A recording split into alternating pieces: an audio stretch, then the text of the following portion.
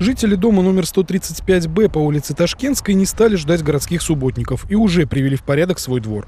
Как только установилась теплая погода, они раскидали снег и убрали весь мусор. Теперь осталось побелить деревья, покрасить бордюры и высадить цветы. Аделина Лемесева, председатель ТСЖ, говорит, что эта задача нетрудная, ведь жители на уборку выходят с удовольствием. У нас очень активные, дружные жители, спасибо им за это. Выходят весело у нас, и дети все приходят на субботник, и игры у нас бывают, и самовар даже ставим.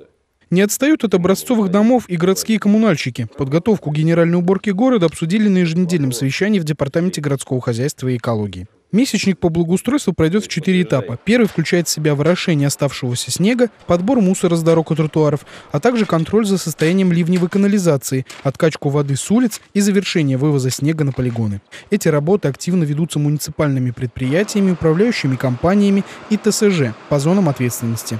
Руководитель Департамента городского хозяйства и экологии Олег Ивахин призвал коммунальщиков усилить и ускорить эту работу, чтобы она уже была выполнена к первому общегородскому субботнику, который планируется 28 марта.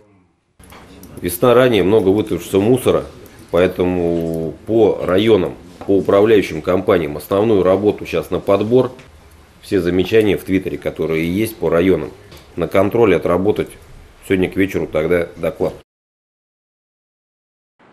К официальному старту общегородской уборки сейчас готовят специальный инвентарь. Районные власти заключают соглашения со специализированными предприятиями на вывоз мусора. Также предстоит подготовить к предстоящему ремонту малые архитектурные формы. Оборудование на детских и спортивных площадках, скамейки, декоративные элементы благоустройства. Андрей Грагуленко, Максим Гусев, Григорий Плешаков. События.